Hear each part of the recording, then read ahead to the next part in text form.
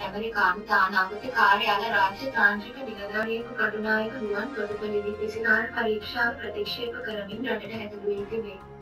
මෙම නිලධාරියා තානාපති වරප්‍රසාද යටතේ පිසිආර් පරීක්ෂණයකට ලක් නොකොට මුදහල් බවයි ගුවන් තොටුපළ හා ගුවන් සේවා සමාගමේ උපසභාපති රජේ සූරිය ආරච්චි පැවසුවේ. මෙම නිලධාරියා අද දින අටා ගුවන් සේවයට අයත් යානයකින් මෙරටට පැමිණ තිබුණා. ඇමරිකානු තානාපති කාර්යාල නිලධාරියෙකු පිසිආර් පරීක්ෂණය ප්‍රතික්ෂේප කරමින් රට තුළට ඇතුළුවීම සහ එම නිලධාරියා එලෙස ක්‍රියා කර ඇති බවට තමන්ට මේ දක්වා ගුවන් තොටුපොළ බලධාරීන් දැනුවත් කර නොමැති බව සෞඛ්‍ය අධ්‍යක්ෂක ජනරාල් විශේෂඥ වෛද්‍ය අනිල් ජාසිංහ ප්‍රකාශ කර සිටිනවා. විදේශයන්හි සිට පැමිණෙන කිසිවකු පිසිආර් පරීක්ෂණය ප්‍රතික්ෂේප කළ නොහැකි බවද මෙහිදී සෞඛ්‍ය සේවා අධ්‍යක්ෂ ජනරාල් විශේෂඥ වෛද්‍ය අනිල් ජාසිංහ ප්‍රකාශ කර සිටිය.